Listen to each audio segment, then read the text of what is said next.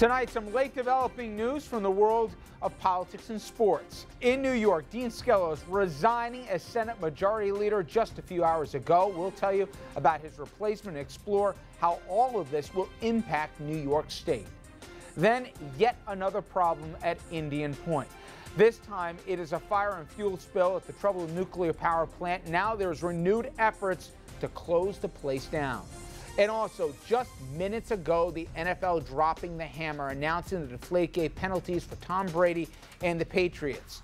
Four game suspension, million dollar fine, and two draft picks, including a first rounder, will be taken away.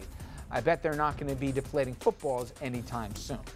Good evening and welcome to RFL. I'm Richard French, and we start here with the swamp of corruption in Albany.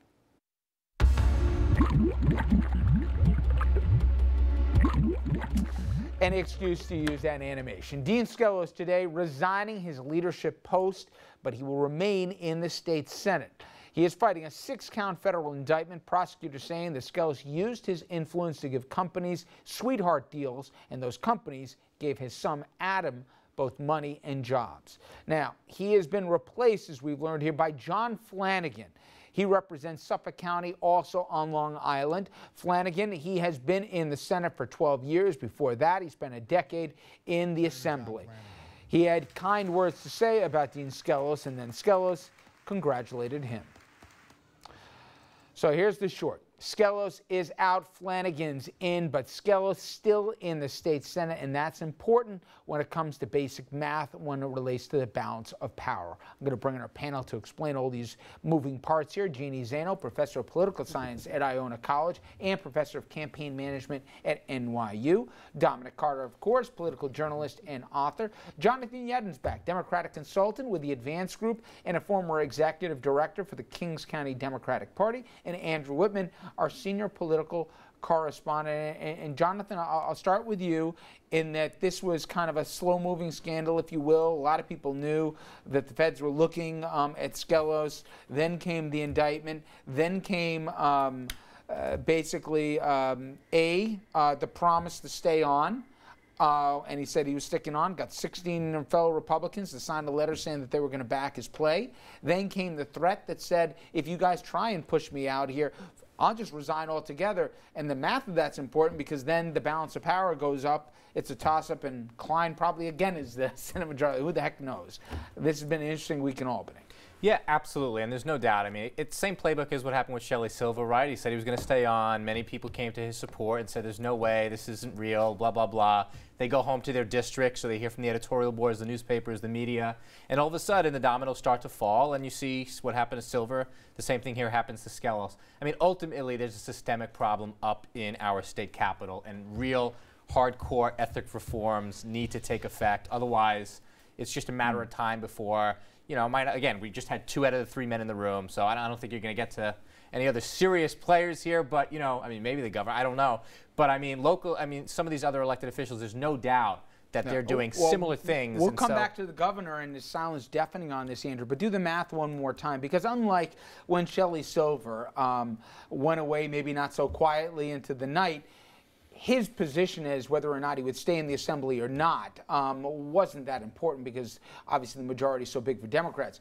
But talk about how one seat, if Skelos followed through on his rumored threat here that if you guys kick me out of leadership, I'm leaving altogether, could have thrown this thing into even further chaos. Well, there's only a couple of seats majority for the Republicans outright in the state Senate. And if Skelos had resigned from the Senate, his number two guy, Tom Libous, who is also under federal indictment, by the way, and is of ailing health, might not have been able to come in for a vote.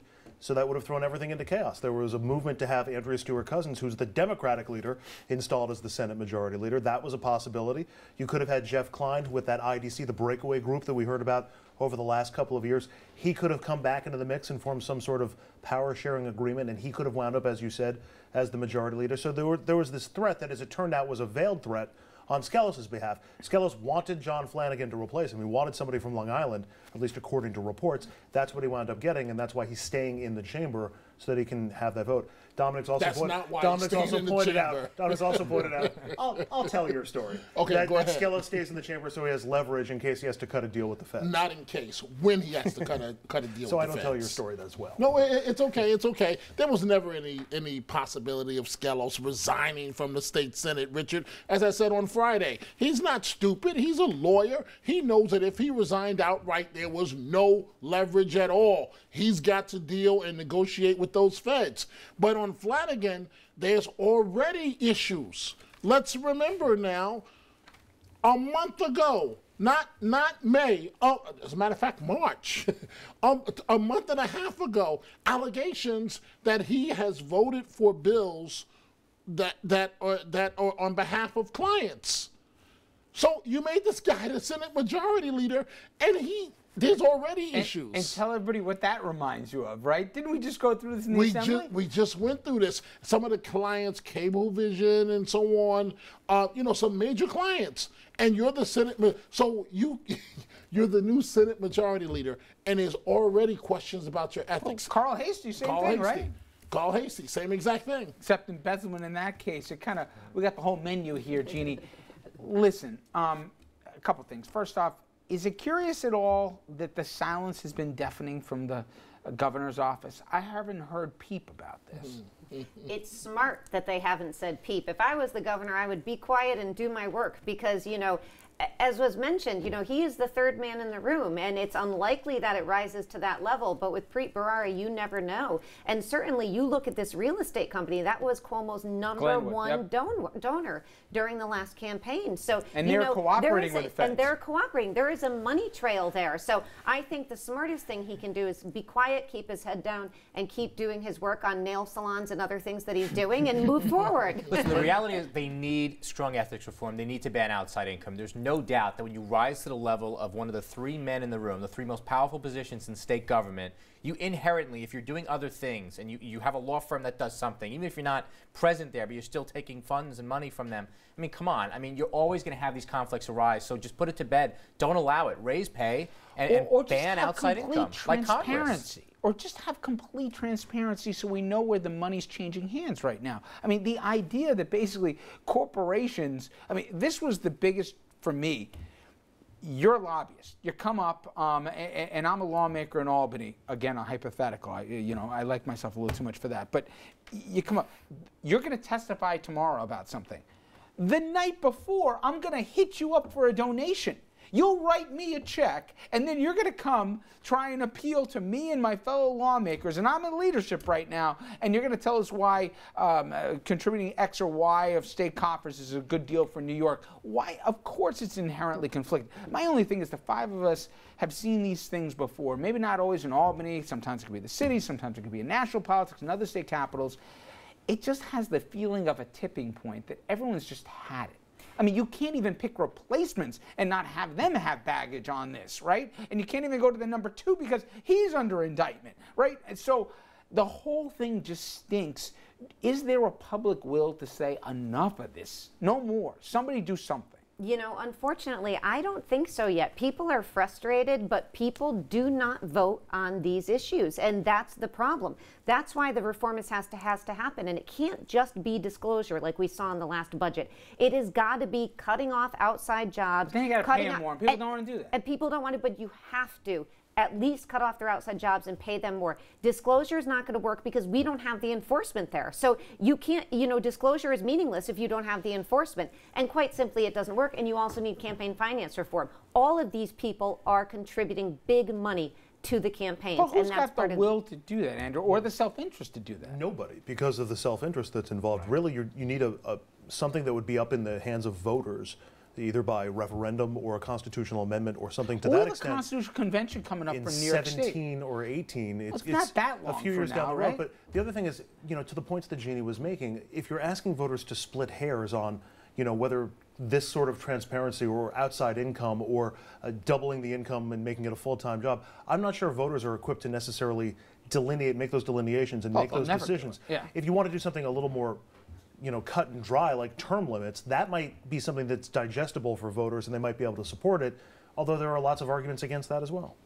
And that's why it's so frustrating, I think, about Governor Cuomo being elected in large part on this issue. Remember and drain the swamp? Yeah, and, and then fumbling with the Moreland Commission and having these very weak, you know, ethics reforms. It, it's very frustrating because it's going to take leadership to get this done. Without it, voters can't be expected to vote on this. They simply won't. And you know, Dominic, just for me, if he didn't screw up the Moreland Commission at the end, just think about it. People would be looking at him as the only white knight that was left there, the only person. He could do whatever he wanted. And talking about a national platform, the guy who really drained the swamp and everything else.